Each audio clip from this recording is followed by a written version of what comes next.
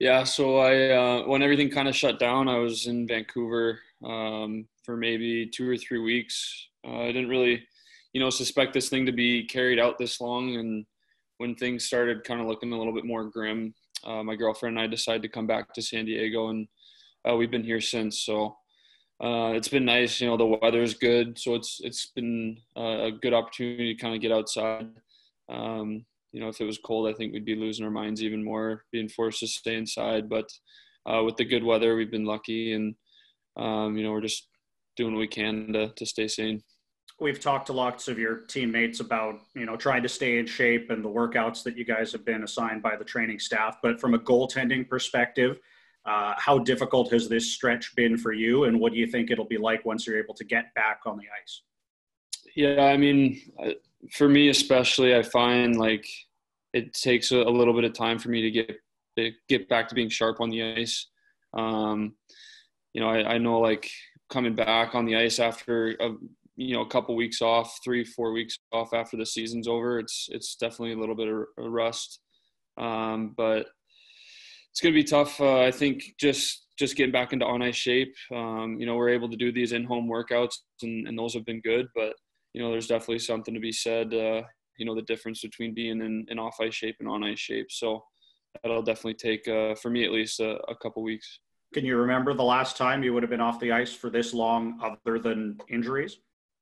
Um, this is it. I mean, um, I mean, I think even with injuries included, like this is probably the most time I've been off the ice since I was eight or nine years old. So uh, it's definitely uh, an odd feeling, um, a feeling that you know it can be overwhelming sometimes. You know, you just don't really feel like you're you're yourself. Um, so it's uh, it's definitely a, an opportunity to just kind of relax and, and try and get your mind off the game, I, I guess, as much as you can. Thank you. Next question is from Jay Janauer. Thatcher, uh, good morning. I'm curious what your thought process is in, in chatting with your teammates about the possibility that if the league comes back, we're hearing a lot of this hub city. Fingers crossed that maybe Vancouver is one of them, but if not, you could be away from from family and, and friends for anywhere from two months to, to maybe even longer. What's the conversation been like, and is that something that you guys are comfortable with? Um, I mean, yeah, we're obviously we we talk as a team every once in a while via text um, or you know calls with the union and um, obviously everyone's situation is different that's what kind of makes this this particular situation so tough um, everyone's going to have a different point of view given their status of family or, or what have you but i mean it's tough um, for the guys with family like being away from your kids and your wife for you know, like you said, maybe four months is is really tough, and potentially living in a hotel. And um, I just I'm not sure how that's going to all play out. Um, I know all, all the guys are itching to get back, but there's definitely some some logistical things that I think need to get sorted out before everyone's comfortable doing so. As a professional athlete, we know you want to get back. As fans, we'd like to see you get back. We're starting to hear some pushback, though, in English Premier League from a lot of their star players, just in regards to safely returning to play. As a player, what's your concern about safely competing in a sport where there's contact, where there's sweat everywhere? There has to be a human cons- component to this as well, Thatcher. Yeah, I mean, I think the two things when you think about safety are obviously the coronavirus and making sure that our bases are covered um, with guys contracting that and and really being more exposed to it, being around teammates and being around other teams, being around staff at the rink, what have you. But you know, I think for for the other part of it, it's just us not being on the ice for this long and then being thrown into a, a training camp. Like guys are going to be have to going to have to be really careful and, and ease into things. You know, we can't just uh, be off the ice for this long and then expect to come back at it full force like we were in March. Um, you know, guys' bodies are, are in different conditions, different shapes um, as they were, you know, in March. So, you know, there's definitely a lot of things on the uh, safety aspect side of it, and um, you know, that's that's one of the things I think that the the league and the union and the players are trying to all work out. Thanks, Thatcher. Yep. Iain MacIntyre is next.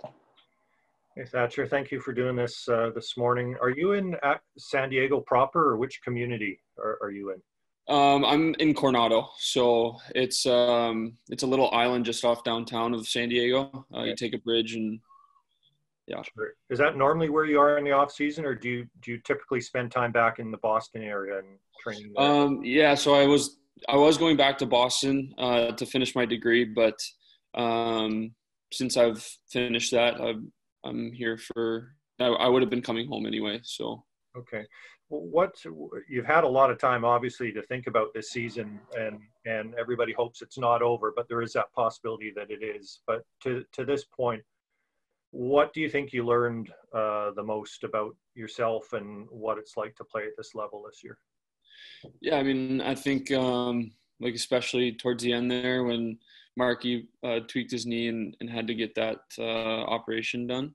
Um, it just really showed me the difference between you know being a backup and being a starter, and um, you know it's something that as you're growing up, you watch it on TV, and even in college, you you're a little bit more more around it and then in the American League and there's all these different adjustments to you know the different levels of play. And um, you know the backup to starter I think is uh, a huge adjustment as well. Not not I mean it's a little bit different because I'm already you know playing at that level but um, you know having that added pressure having that those added minutes I think it's it's a big jump. And I think it was awesome for me to to see that firsthand and, and kind of understand what came with that responsibility. And just one follow up to that, you know, when you began that stint, uh, the team was on the road. I think there were a couple of games where you probably felt you maybe could have played a little bit better, but at the time, you didn't reveal much about your emotions and, and what you were going through. Uh, in hindsight, can you share a little bit of, about that? Was it a hard time? Were you on putting a lot of pressure on on yourself at that moment?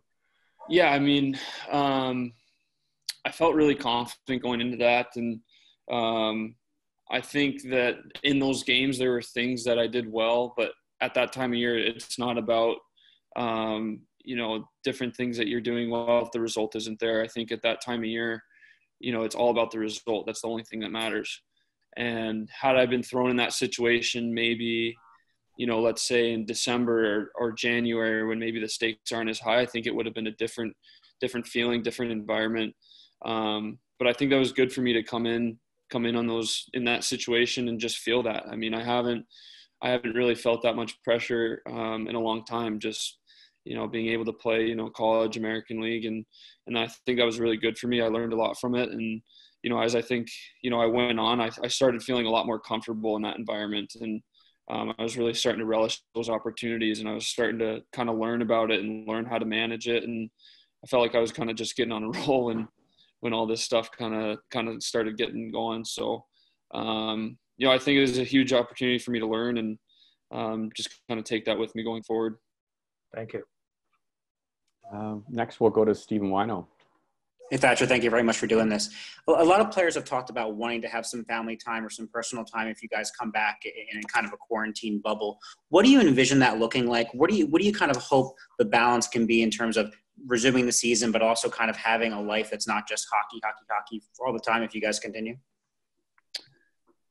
Yeah, I mean, I have no idea, right? Like, I, I have no idea what that's going to look like. Um, you know, you hear different um, scenarios that are thrown out, different options that could potentially be the, the one that we're going to go with. But um, I think, you know, at the end of the day, I think everyone's going to have to make a sacrifice. Um, you know, players, owners, union. Um, I don't think that there is a scenario where everyone's going to be happy with the situation. Um, so for me personally, I, I mean, obviously, I I've thought about it. I hear what guys are saying, and I think about that from my point of view and how that might affect me and how I would deal with that. Um, but at the end of the day, personally, I really have no idea uh, what the best scenario is. I'm kind of just going to go with the flow. Being a young guy, you know, I don't have too many roots. You know, I've been living pretty much out of my car for the most part for the last, you know, six seven years, just going from place to place. So, um, yeah, I mean, we'll see. We'll see what the the final say is for sure. Thank you. And we've got David Quadrelli next. Thatcher, a few weeks back, Jacob Markstrom called Ian Clark one of the best goalie coaches in the world. How important was he for you when you were unexpectedly thrown into the starter's role toward the end of the season here? Yeah, I mean, uh, I've had a good relationship with Ian. Um, you know, he's taught me a lot, um, just about being being up in the NHL, and we had always talked about you know where I wanted to go with my game and what my goals were, and obviously being a starter is, you know, kind of kind of the focal point of that. And when all that kind of went down, I, I think he he saw a good opportunity for me, and we had a lot of talks about you know what it would take and um, you know, after some of those games on the road there, you know, sitting down and he was never, you know, shy about it. He was just very blunt. He's like, look, you're in a position right now where, you know, it's a little bit of added pressure and, you know, you're to either deal with that or, or crumble. It's up to you. And that's when I kind of came home and, and felt like I was kind of stepping up my game and, um, you know, wanted to be there for my teammates for, for the city of Vancouver. And, um, so yeah, I mean he he's great. I've I've really enjoyed working with him and, and Jacob, and uh, I think it's been really good for my game. It feels like with every season you've kind of taken that next step. What do you think that next step for you is next season? Um, just more consistent. Um, you know, I think I learned a lot this year being in the NHL uh, for a long period of time, and you know, for me, I thought there were a, a, few games where you know I'd have a good game or good two games, and then my my second or third start on on that streak wouldn't be as sharp, or you know there'd be something where it wasn't quite right. So. Um, being the starter, being able to play as much um, as I did there the last couple weeks, I think it was a good, good thing for me to kind of learn, you know, how to be more consistent and and what it really took uh, in between games and, and that kind of thing. Awesome, thank you. Jackie Spiegel is next. Hey, Thatcher, thanks for doing this. Um, I was just curious if the season had ended back on April 4th, and let's say just hypothetically the Canucks hadn't made the playoffs, what, what's your normal offseason routine? And is that kind of how you're looking at this time right now? Um, yeah, I mean, it's been weird the last few years just because, uh, like I said, I had been going back to Boston uh, for classes, which is like a six, seven week chunk out of the summer and then I'm home for three weeks, and then I pretty much start training uh, out in Connecticut. Um, so I mean, my my mindset's usually the same, just my location's pretty different. Um, so yeah, I mean, it's been tough though, like because you don't want to fully, you know, detach from the mindset of being in the season or, um, you know, really like just sit sit on the couch and relax. Like you wanna you want to keep your mind and your body sharp.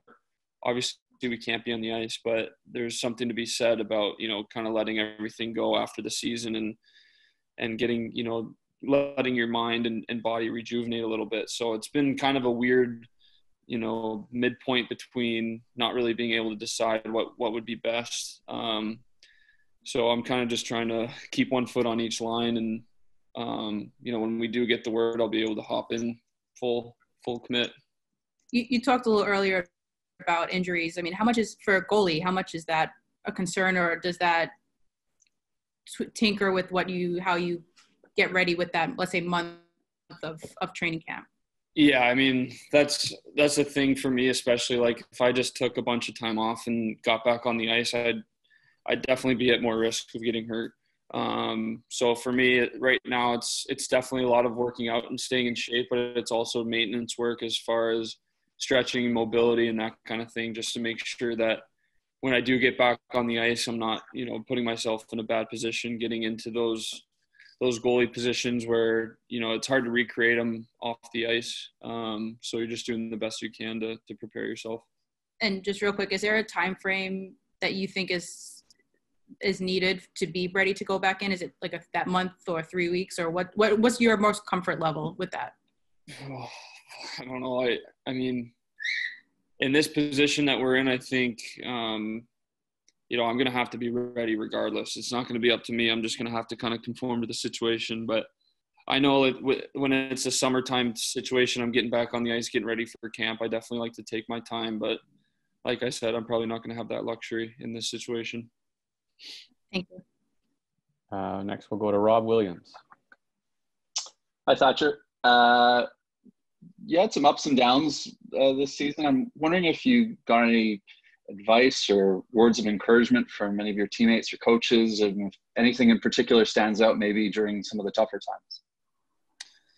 Um, yeah, I mean, my teammates were great all year. I I was super thankful for them. I was super grateful for the relationship I had with Marky. I was able to kind of talk to him and, and bounce ideas off him if I needed to.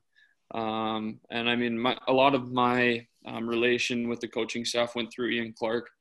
Um, so, you know, I'm, I'm talking to him every day and uh, working with him on and off the ice, going over video, that kind of thing. And um, everything that happens, he's, he's blunt with you and he uh, uses it as an opportunity to learn. And uh, that's something that I really appreciate about him. So, um, yeah, I mean, I, I agree with you. You know, there's some times where, you know, things were looking a little bit more grim, uh, so to speak.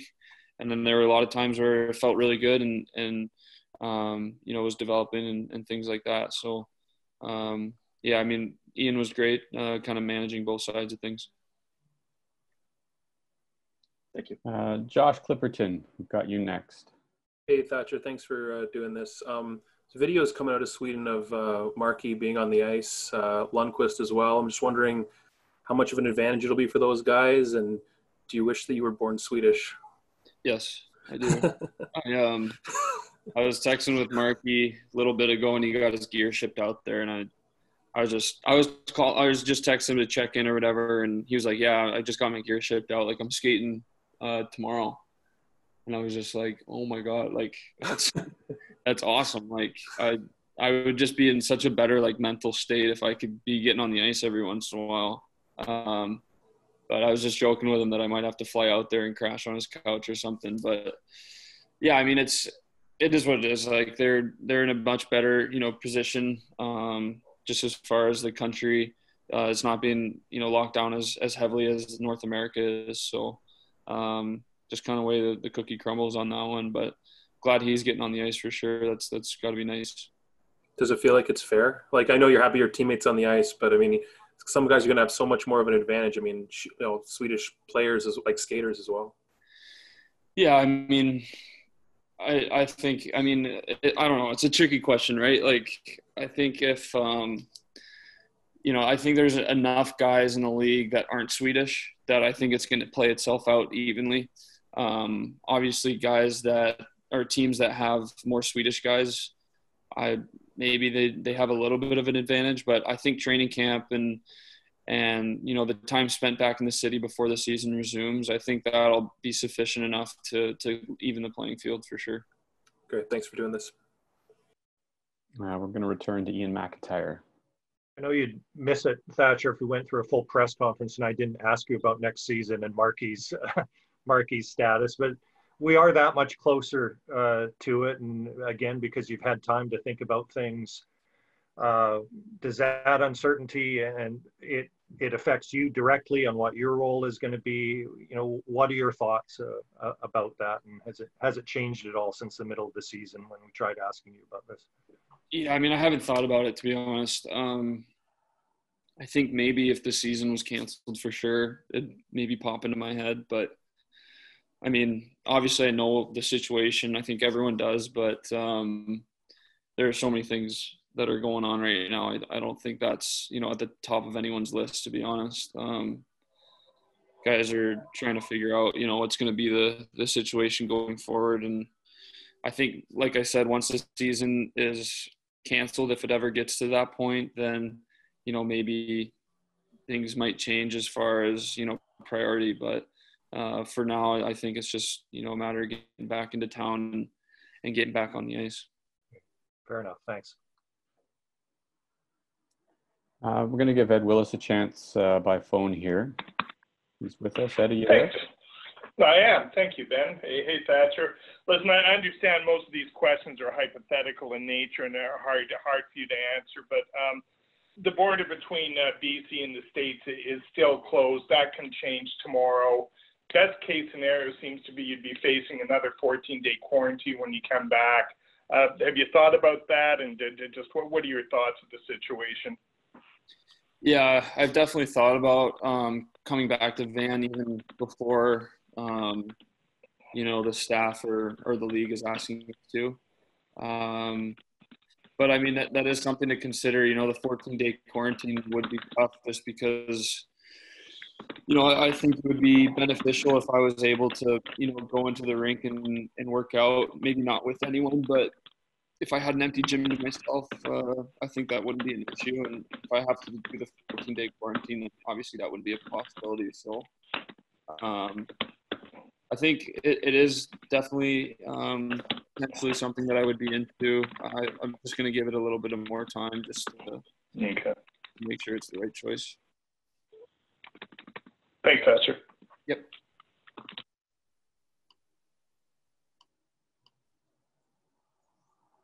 I'm going to give everyone one last chance while we have Thatcher here um, to ask a question. I actually have a question for you, Thatcher, about uh, you've added a new member of the family. What can you tell us yeah. about your your newest addition in Delilah? Yeah, I'm super pumped. Um, I never got to have a dog growing up because my parents weren't together when I was growing up, so it was just way too much. So, um, been thinking about this day for a long time. but yeah, my girlfriend and I got a dog. Her name's Delilah. Um, she's super sweet. Um, she's actually at the vet right now. She wasn't feeling too good last night or, or this morning, but um, yeah, it's been awesome, man. I've, I've loved it. It's definitely as much work as everyone was warning me about. So um, it's good though. Now that now's the time to do it. You know, I got nothing, nothing else really going on. So training her, uh, you know, day and night. So it's been good. And what breed is she? She's a Bernese Mountain Dog Doodle. So uh, okay, it's the same dog as Stetchy, same dog as Phoebe, but she doesn't shed, which is huge. She looks very similar, but there's no loose hairs going around the house, which is big for me. Are you starting to see uh, some character from her too? She's got her own personality. Yeah, she's actually being such a snob this morning. Like, she's usually like super mellow in the morning. Like, she wake up and she'll cuddle with you while you're having coffee. And this morning, she was just, she was letting us know like she's ready to go today. Like, she was buzzing around around grabbing stuff and I think she's getting into her teenage years, her teenage dog years, so she's gonna have a little bit of an attitude with us, maybe going forward for a couple weeks. Sounds like fun. Uh, we'll keep you for one more question, uh, Thatcher. This one's from uh, Kevin Woodley. Just a second, Kevin. I'm going to unmute you. Apologies. Yeah, he's on mute, maybe. All right sorry, just when you were talking about coming back to Vancouver, Thatcher, I want like how much the opportunity to get on the ice up here as that's opened up was that part of the thought process um, that there are privates available for one-on-ones in some of the rinks locally and secondly have you ever worked on synthetic ice or anything like that you know being from san diego where i know sometimes ice can be a challenge is that anything you've looked at um, yeah so to answer your first part um, i think like the big you coming back to van was more just having a gym uh, having availability to a gym.